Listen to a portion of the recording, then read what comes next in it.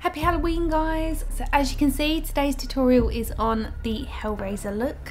This really is quite the transformation so if you're looking to replicate this look then set aside a good few hours and do some prep in advance to make the nails because you're going to need them. So my model today is Jack and much like last week we're going to apply a bald cap again so I'm just going to include the footage from last week on how I applied the bald cap. As I mentioned last week I do have an in-depth tutorial on how to apply a vinyl bald cap. This includes gluing it around the ears, around the nape of the neck, how to blend away the edges. It's a really in-depth tutorial. The only difference between the bald cap that I applied last week and the one that I've actually applied to Jack today is the one that I'm showing you on screen is a clear bald cap and the one that I applied today is a flesh coloured bald cap. It makes absolutely no difference which one you use. If you don't want to have to cover the hair too much then a flesh coloured one is really good because it's more opaque. And I would say that the flesh coloured ones are a little bit thicker because it does contain a pigment but when I say thicker, I really mean marginally different. They really are both extremely thin, but you just can notice that it's a tiny weeny bit thicker when it's got a little bit of pigment to it. So really it is just your personal preference. I don't mind using either one, it doesn't phase me. I'm quite happy with a clear bald cap and I'm quite happy with a flesh coloured one. I should also mention that when I say flesh colour, you can get different tones of flesh colour. You can get deep and you can get very fair. You can also make your own, you would just put in the pigment colour of your choice. So next up, I want to cover the brows and I want them to be really, really invisible. So I'm going to start with the Elmer's glue. This one is the non-toxic one. Everybody uses it because it's super easy to work with. You just work it into the brows and then you use a spoolie to brush the brows up. And this is going to make them as thin as possible and as flat as possible to your skin. It does come out purple to begin with, but it does dry clear. And what's great about this is it's really easy to remove. You just use some mild soap and warm water and it will break down the glue and it will just easily come away from your brows. So I'm applying one layer on the brow, moving over to the other brow while that dries, coming back doing a second layer, and then I'm going to show you a little technique to almost kind of disguise the texture of the eyebrows. I'm not going to stop there, I'm actually going to take it one step further. So if you have some excess vinyl from your bald cap, keep it because you are going to need it for in a little while. So once you've applied two layers to both the brows and they've dried, you'll still find that if you was to run your finger over the brow, there's some texture there. So a little tip is to use your spatula to decant thicker amounts of glue and we're going to smooth that over the eyebrow it's going to fill in the tiny gaps between each of the hairs so that we get a smoother finish overall and it will start to disguise the texture. Now again, it will look purple, but I promise you if you give it time, it will start to dry clear. Another great thing about this product is it really is cheap as chips. It's a lot more cost effective than using a special effects wax and I would say it's a little bit easier to work with. If you do get it onto the skin, you can simply wipe it away with a baby wipe or some micellar water on a cotton bud. Now as I said, I am going to take this one step further and the reason for this is because I actually want the smoothest finish possible. So I'm taking some of the bald cap that was left over from the nape of the neck and this area is super thin because it actually doesn't contain any of the pigment. So I'm taking some Pros-Aide, which I used to glue the bald cap on, and I'm running that around the circumference of Jack's eyebrows. Now it doesn't matter if you do get this on the brow hair because it will come off. The hair is now protected by the Elmer's glue, but I would say it's always a good idea to have a proper glue remover just in case. So now the Pros-Aide's gone completely translucent, I'm ready to apply the bald caps. The idea is to keep this as nice and taut as possible. So stretch it out using your fingers, ask somebody for an extra hand if you need to. And this is going to give you a super smooth and realistic bald brow finish. And because it is a vinyl bald cap, it's going to blend away to nothing, so it will really give the most seamless finish to the skin as well. You could apply this directly over the brow with none of the Elmer's glue in there, but you will still see a bit of a bulky brow. They do need to be flat to the skin in order to achieve this finish. So if you went and watched the bald cap tutorial first, you know I'm using acetone to blend away the seams, and I'm using a rolling technique with a cotton bud to really flatten the edges to the skin. Obviously, as we are using acetone, you need to be super careful around the eyes. If you're doing it on yourself or anybody else, make sure you do a patch test first because it could irritate sensitive skin. I'm really using the most minimal amount in order to blend these edges. I'm going to use my Makeup Forever Flash Palette to do the bulk of the colouring because it's super opaque and it's a quick way to cover. You can do this with alcohol activated paints, which you can actually layer with the cream for durability. It's completely up to you. I worked out pretty quick that this tutorial was going to take me a while, and I had picked out a palette from the Makeup Armoury that I wanted to use for the colours but because the alcohol activated paints tend to work a bit better if you're using them like a watercolour, you would apply thin layers to build up the tones which you've seen me do a number of times in different looks but for this particular look, for the bulk of it, I really needed to get the colour on so I decided to go for the cream. But bear in mind that cream alone can start to move if you get quite warm or if you touch it too much. If you really do want durability then the alcohol activated paints or PAX paints are very very good. I've mostly used white with a tiny hint of the blue from that flash palette to get this tone. This is just the foundation. We're going to work on top of this with different eyeshadows and different colours, but this is a really good starting base colour. It's like an off-white with a hint of blue. So cover the eyes and don't forget to get as much of the ears as possible. Can we just appreciate how good the brows look? With the Elmer's glue underneath to really flatten the hairs and then having the vinyl bald cap over the top of them, they are completely and utterly seamless. That's one layer down. I'm now going to set that in place with the Vichy Dermablend. When using creams, it's a good idea to do a bit of layering.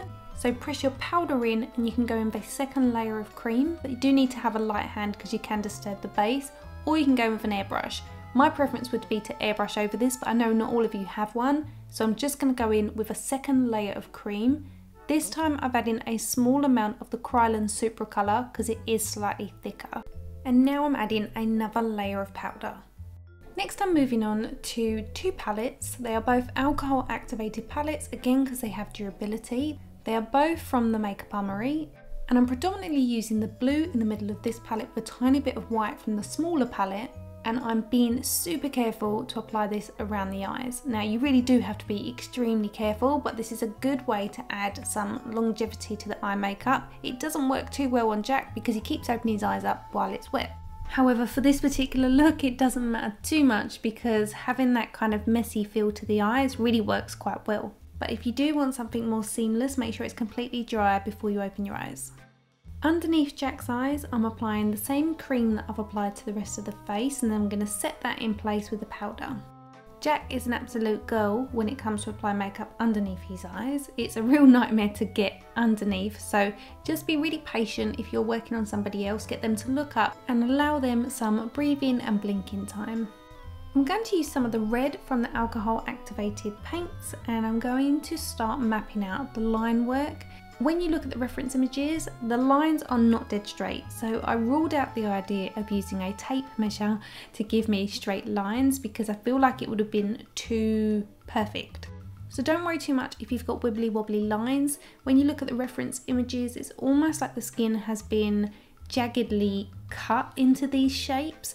I think it really only does you a favour when they're not totally perfect. When you look at the reference image, you'll see that there aren't any lines around the actual eyes. They are predominantly on the forehead and on the rest of the face below the eye socket. They are also not around the ears. They actually stop about an inch away from the ears all the way around.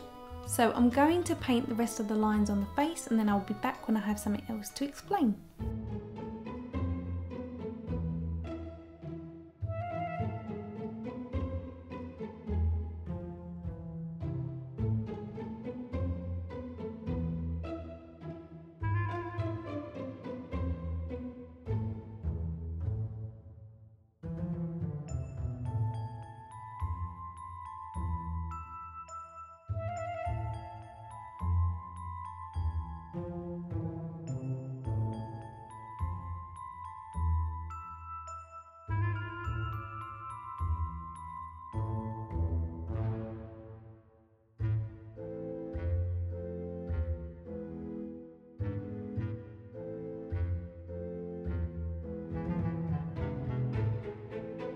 So now I've got the line work done, I'm going to start colouring in. I'm going to use two of these palettes from Certify. I pull these out every single Halloween because they are fantastic.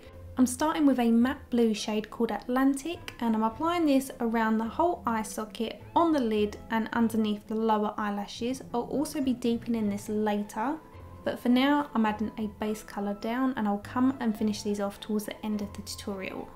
When you look at the reference images of Pinhead, you can see that his actual skin tone is predominantly one that looks like a kind of bluish bone colour, but when you actually look at the colours, he has a lot of yellow in there, he has blue and some grey tones. So I'm going to start off by taking the Sunray Yellow, which is a matte yellow eyeshadow, and I'm using a dabbing motion to press this on around the outside areas of these squares. You really do not have to be too neat about this. Trust me, once you get to the end, it will be really, really effective. So I'm now going in with a grey toned eyeshadow. This one is called Typhoon. It's also a matte finish and I'm taking the majority of the colour off and then putting it onto the back of my hand before tapping it onto the squares. I've also mixed it with a very, very tiny amount of the shade Coast, which is a mid-tone pale blue. And I'm also taking that around the eyes. This is like a work in progress. I'll just be sort of flitting around the whole face with these tones.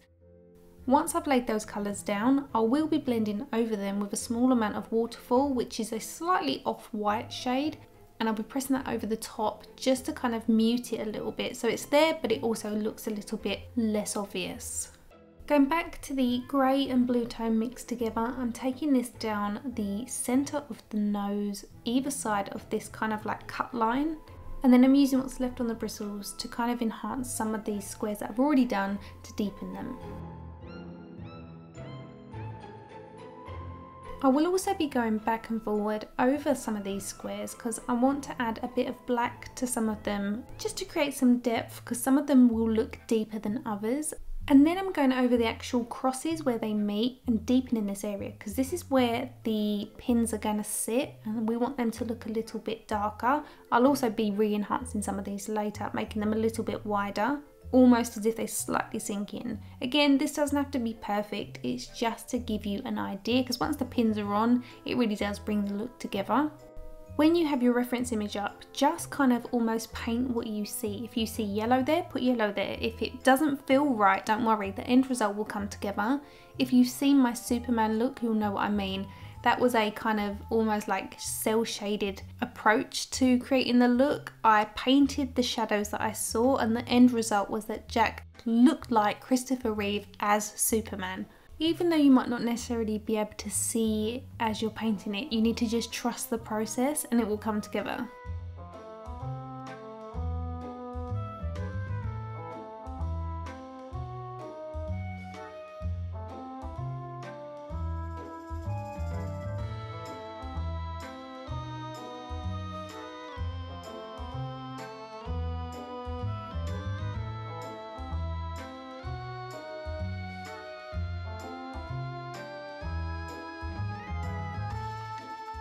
Here I'm just colouring in Jack's lips with some white cream which I used on the rest of the face. And then on the centre of the lips I'm taking the same blue that I've used around the eyes. This really does give the face a bit more of a dead appearance and it's so similar to Hellraiser. So now I'm going in with a deeper blue and then I'm going to mix a little bit of that with black and start applying that again over the eyes. And as you can see, having this kind of mottled effect to the paintwork on the eyes actually works in our favour for this particular look create depth on the very inner corner of the eyes with a bit more of the black tone and then here I'm using a flattened pencil brush to press that into the skin and this is creating a bit more of a shaded appearance. I'm doing the same underneath the bottom lip, mixing together the blue and the grey tone. It's creating shadow but also keeping the skin quite cool and also around the nostrils. I'm extending the shape of the eyebrows at the front and I'm using a flat shader brush to do this and then I'm adding shading to the sides of the nose, again using the grey and blue tones to do this. This is the part I like because you can really start to see it come together. It's got a real 80s feel to it. For our pins we used cocktail straws and I must say they're quite difficult to get hold of especially now single-use plastic is being phased out.